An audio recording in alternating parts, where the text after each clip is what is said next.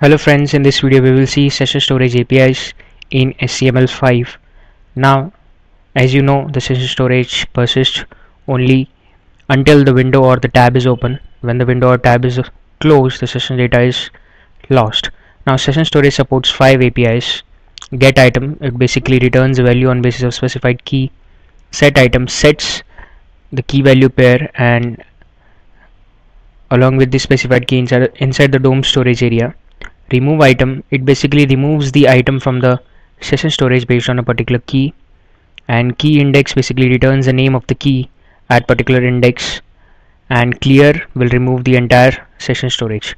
So let's uh, see through browser how we can do it. Now I have a simple ASP.NET MVC3 view.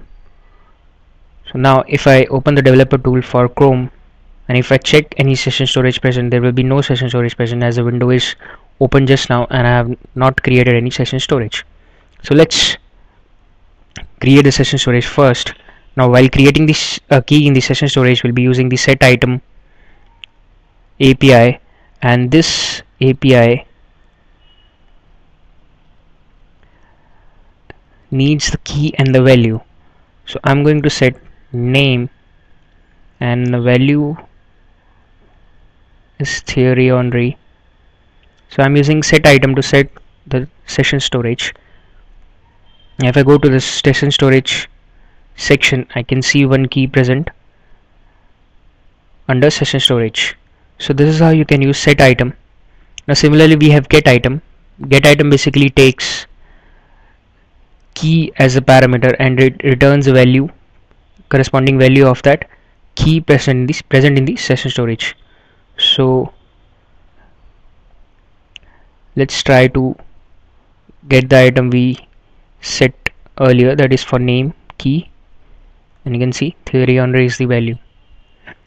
And our third is the remove item API remove item API basically removes the particular key from the session storage so I'm going to remove the same key I have created. So I say remove item name. And if I go to the resources tab session storage section there is no key present. So this shows how we can remove the key. Now for further APIs I'm going to set two keys. First is a name. And then I'm going to set name 1 with Thierry only 1 now if I go to the resources tab you can see two keys with two values. That is name name 1 Thierry Henry and Thierry Henry 1 so our next API to explore is the key index. Now suppose you want to know the name of the key at particular index of the session storage.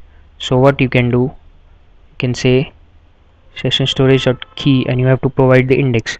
Suppose I provided 0 I want to see what is the first key present in the session storage so it gives me it gives me name. Suppose I gave 1 gives me name 1 so it basically accepts the index and returns the name of the key present at the index in the session storage. And the fifth API is basically clear and unlike remove item which removes the item particular item based on the key, key name from the session storage clear will delete all the items from the session storage. It basically clears the session storage.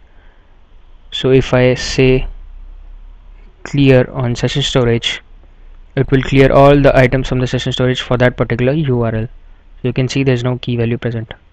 So this is how you can use various session storage APIs to manipulate session storage for your website or for your page.